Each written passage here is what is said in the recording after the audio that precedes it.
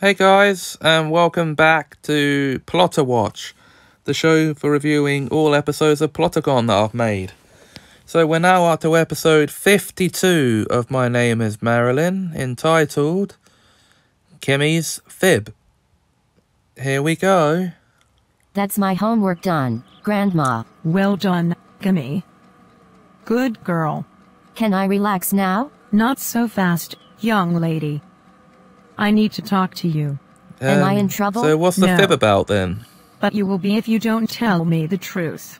Episode 52, Kimmy's Fib.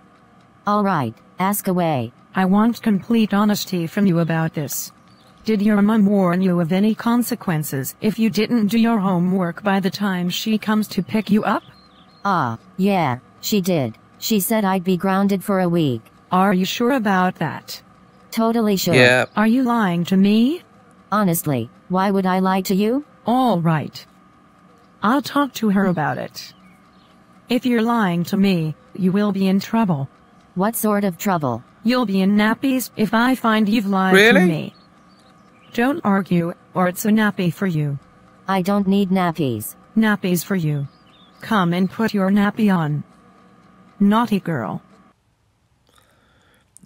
Okay, so that's it for this episode, guys. The next one, I think you'll be pleasantly surprised to see what's on the cards. So until then, thanks for watching, and bye bye bye bye.